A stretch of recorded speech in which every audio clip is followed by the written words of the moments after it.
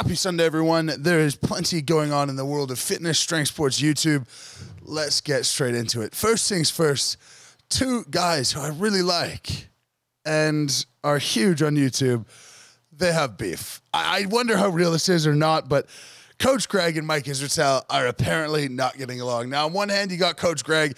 He is obviously doing some stuff for clickbait to get people excited, but generally speaking, he does want to help a lot of people. And on the other hand, you got Mike Israetel, probably the guy who's smashing it better than anyone on YouTube right now with Renaissance periodization. He's got his PhD, incredibly science based. I'm going to play Switzerland a little bit because I think these dudes are both right. I'll talk a little bit about what their problems are with each other. Now, first of all, let's just put the context. Greg gives a lot of information for the average person trying to get fitter, get leaner, get in better shape. He, of course, has coached people to their IFBB Pro cards, but Mike's audience is going to be someone who wants to get things absolutely perfect. And Greg has the opposite point, saying most people can't get it perfect, so let's just give them general, reasonable, practical advice that's easy to follow. Uh, now, to sum up their opinions, Greg says train hard and do your cardio and train harder than last time. And that's essentially it. Begin and finish there. Mike he is a self-admitted nerd who found lifting and so he finds all of the intricacies which personally i love. That's the stuff that i make videos about as well. Uh, i love talking to mike. I love having those discussions but i definitely see the elements where if i was advising an average person which i do often we don't need to get so much into the nitty gritty now in terms of the controversy between the two of them greg has talked about mike saying that he didn't win his pro card and uh, substances are affecting his ability to think properly, et cetera, et cetera. Not the nicest stuff in the world. Uh, then Mike called Greg a two faced lying sociopath, blank sucker on a podcast with uh, with Zack Telander, um, who, by the way, is making some pretty good country music right now. If you haven't seen that, go ahead and check out him. Uh, but regardless, Mike was airing out some intrusive thoughts, and I have spoken private to my friends about these intrusive thoughts as well. I think most men have them. And we are, uh, it's just if you act on them or not. I think everyone has had the thought, you know, how, I don't know. if I'm sitting here, could I throw a child from here to the pool? Would they hit the water? Uh, stupid stuff. But I think we all have them. Regardless, Coach Greg and Mike Israetel not getting along. I'd love to know what the public opinion is, what you guys generally think about this. Go ahead, pop that in the comments. I've done podcasts, I've had sit downs, I've spent time with both of these guys, and I will continue to. And it's always confusing to me when you have people who are both really reasonable, really nice, and then together they're just a little bit of oil and water. I'm going to just boil this down to the sensationalism of Coach Greg, to the literality of Mike Israetel, if that's a word. But you've got one guy who, who does things for entertainment purposes and one guy who does things for pure educational purposes. And I think it's easy for them to pretend that they don't see what each other is trying to do. Now, that's the controversy world. There's plenty other things going on in the strength community. We've got the deadlift world champs coming up in about a month's time, and I am one of the people who will go to Las Vegas with Giants Live to try to break the deadlift world record. The current record is arguably 500, arguably 501 kilos for some more uh, controversy, some more uh, split opinions, some more oil and water. Eddie pulled 500 several years back. Thor pulled 501 several years back. And Thor actually put out a video just recently talking about his desire to break 501 and pull more. I genuinely believe on the planet right now, Thor is the man to push the deadlift world record much further than it is currently. I think he's a person who could go 5'10, 5'15 but he's also smart. There has to be some semblance of why. Why am I going to commit the time? Why am I going to take the injury risk? And it's just going to take someone with, uh, probably just with a wallet who's willing to pay to see something historical, see history be broken, just like Eddie did jumping from 460 some odd kilos to 500 kilos in one night. Now, in terms of the people going to the deadlift world champs, we've got four people who are uh, of some sort of interest, uh, some sort of chance of breaking the record. Uh, we got Graham Hicks, who had his last heavy pull of 465 kilos.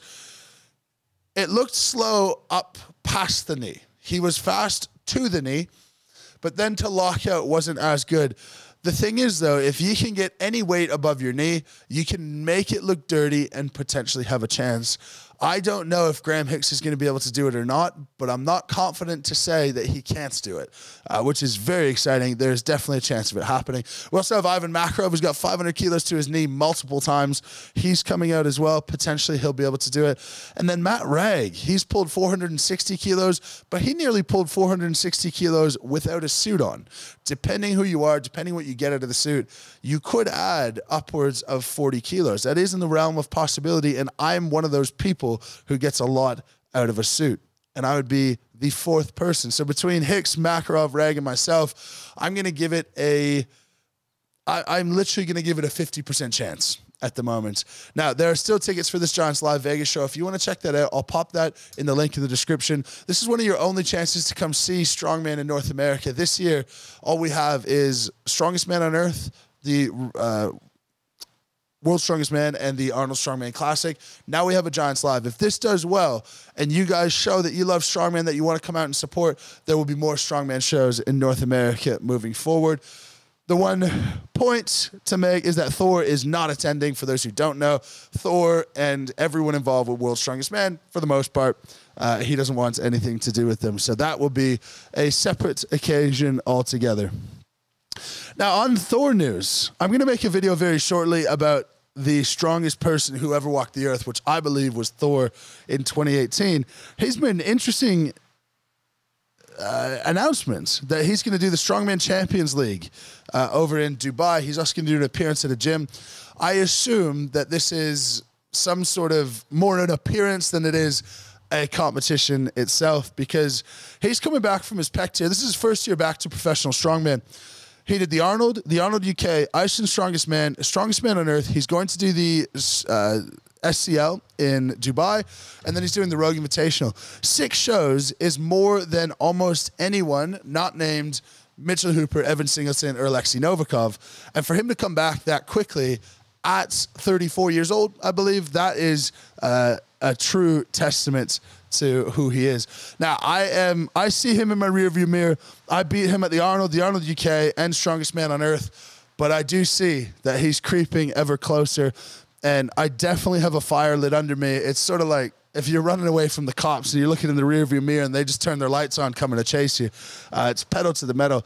He is going to push me to new heights, and I am very excited for what that might become, uh, and very excited for a little bit of back and forth with him. I know I know one day he's going to get me, but I'll work my ass off to make sure that he can't. So interesting for Thor. Now, other upcoming shows we've got Giants Live in Birmingham in a week's time. That has the World Log Lift Championship as well, where I will be one of 10 guys looking to break the log lift world record. This is more clear than the deadlift world record. Iron Biby will be there. He hailing from Burkina Faso. Uh, it's almost like this dude isn't real. Like you don't really see anyone else from that part of the world at the very top level, and he just turns up and he is absolutely up there. So he's capable of breaking the log lift world record. He wants to go all the way up to uh, 235 kilos. He says the record currently sits at 230. Usually you try to jump it by one, but he's going to jump it by five. Would love to see it. Would be very impressed but time will tell. The one thing about Iron Biby, and if Iron Biby watches this, or if you guys could share it and tag Iron Biby, just clip out this portion. We want to see you in full shows. He he is so much more athletic than you could ever imagine for a 400 plus pound man. He can run a yoke really well. I've never seen a weakness. I haven't seen him do all the events, but he seems to be pretty capable all rounds. Now he is not doing the full show. He's just doing the log lift world champs, but he's doing the full show in Vegas. I believe he is the freakiest human alive to watch do anything. If you watch him do something good, you'll see a 400 plus pound man cartwheel. Uh, you'll see a 400 plus pound man sprinting. It's just stuff that should not be possible. Iron Biby manages to do. Last thing in the new in, in the world of strongman, we have the events for the Rogue Invitational. I can't tell you yet what they are but if you pay attention closely to training of people involved, then you will definitely start to get the gist of it. Now that's what's going on in the world of YouTube, strength sports, and strongman. Would love to know your guys' thoughts. Coach Greg or Mike, pop that in the comments. Will you be attending any of the Strongman shows coming up? Would love to see you there. Would love to show you what we are capable of. But we've got one in Birmingham next week, Birmingham, England, and then in about a month's time, Giants Live in Vegas. Again, check the link in the description. And if you want to become the strongest version of yourself from someone who has a master's degree in exercising through injuries, chronic diseases, and someone who's got a performance coaching background, my programs are linked in the description. And if you just want to support the channel, you're not, you got your training sorted, Lift Heavy Be Kind merch, go ahead, wear that, put that out there, and get people comfortable in the gym and inspire more people to lift heavy and be kind. Until next time, thank you very much for watching. Hit that subscribe button if you haven't already, and we will catch you tomorrow.